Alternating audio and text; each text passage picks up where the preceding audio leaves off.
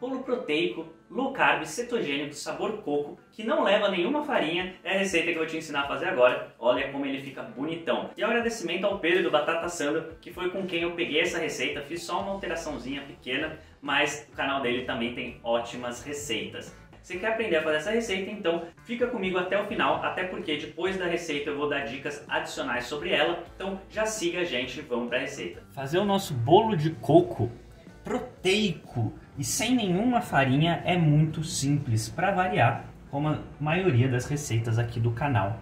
E o que, que a gente vai precisar?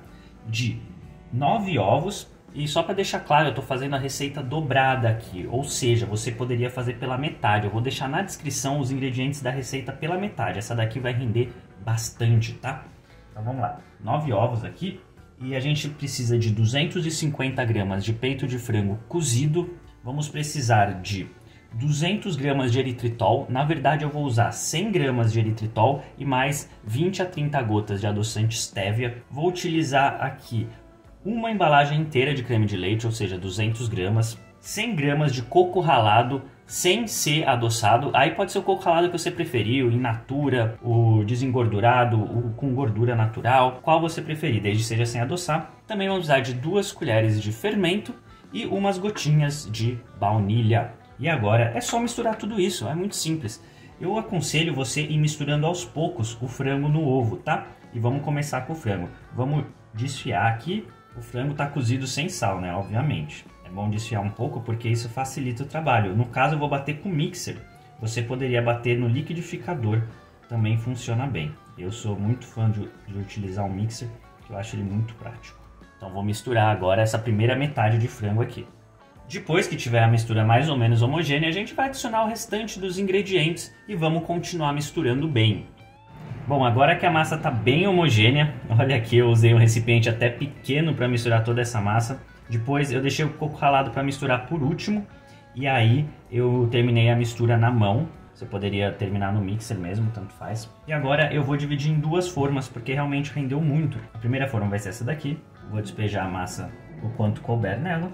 A massa cresce, tá? Então lembre disso na hora de distribuir para deixar aí uma bordinha livre. E o que sobrou eu vou colocar nessa outra forma aqui que eu joguei um pouco de canela no fundo, que canela combina muito com essa receita. Bom, depois disso a gente vai levar o forno pré-aquecido a cerca de 200, é, 230 graus, graus Celsius, uma temperatura média, por cerca de 30 minutos mais ou menos. Depois eu te falo o tempo exato e te mostro como é que ficou essa maravilha.